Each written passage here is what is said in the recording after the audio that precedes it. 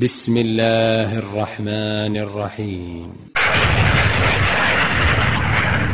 سابقوا إلى مغفرة من ربكم وجنة عرضها كعرض السماء والأرض أعدت للذين آمنوا بالله ورسله ذلك فضل الله يؤتيه من يشاء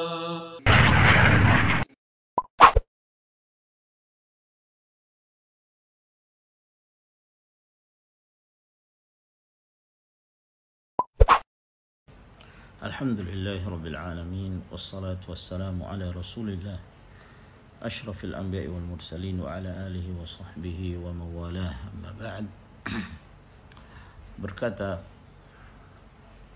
penulis kitab Al-Muyassar fi Ilmi Nahwi menyebutkan isim yang keempat jam'ul muannats salim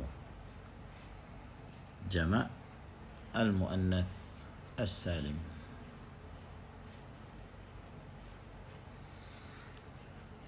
jama' al muannats as-salim apa yang dimaksud jama' مؤنث سالم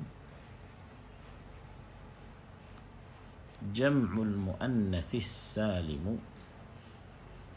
جمع مؤنث salim huwa adalah ma dallah apa yang menunjukkan alal jam'iyati atas sebuah jama' biziadati dengan penambahan alifin penambahan alif watain dan ta fi akhirih pada akhir kata tersebut. Maka di sini yang perlu diperhatikan bahwa jamak muannas salim memiliki ciri yang pertama dia menunjukkan jamak yaitu menunjukkan sesuatu yang lebih dari dua.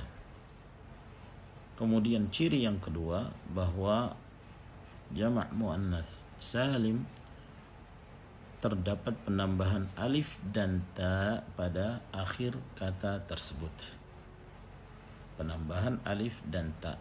Jadi diingat bahwa alif dan ta ini adalah huruf tambahan. Bukan berasal dari asal sebuah kata, namun dia hanya sebuah penambahan. Di sini ada sedikit yang perlu dikoreksi ketika disebut kata jamak. Di sini menggunakan alif lam al-jam'u. Yang benar bahwa kata jamak di sini tidak perlu menggunakan alif lam seperti yang disebutkan di atas. Jadi cukup ketika seorang menyebut kata jama ini langsung menyebut atau menulis huruf jim jam jam'u jama' jadi alif lamnya tidak diperlukan di sini jam'u al muannath as-salim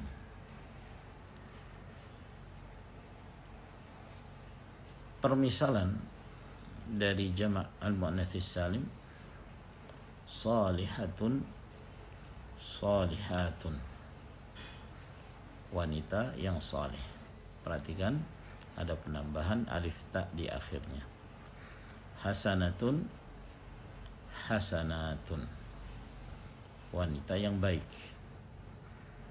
kafiratun kafiratun wanita kafir muballighatun muballighatun wanita muballighah atau wanita yang bertabligh wanita yang menyampaikan sesuatu ini adalah permisalan-permisalan dari jama' al-muannath as-salim dan banyak sekali contoh-contoh yang disebutkan di dalam Al-Qur'anul Karim yang kaitannya dengan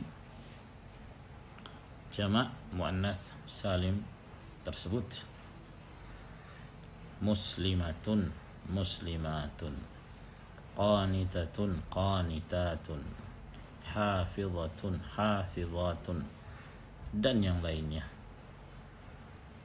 demikian penjelasan tentang jamak al-muannath as-salim mengapa ia disebut jamak al-muannath as-salim ia disebut jamak sebab dia menunjukkan lebih dari dua dan dia disebut mu'annath karena seringkali jama' ini diletakkan untuk kata-kata yang bersifat mu'annath yang dimaksud mu'annath adalah lawan dari muzakkar mu'annath adalah yang menunjukkan perempuan atau betina atau yang semakna dengannya dan disebut salim. Salim artinya selamat. Ia disebut selamat as-salim karena pada bentuk mufradnya tidak terjadi perubahan pada saat dia telah dijama' Jadi selamat dari perubahan. Solihatun perhatikan sod tetap di fathah.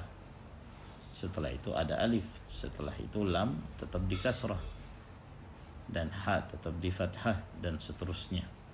Jadi tidak terjadi perubahan pada bentuk mufrad ketika hendak dijamak.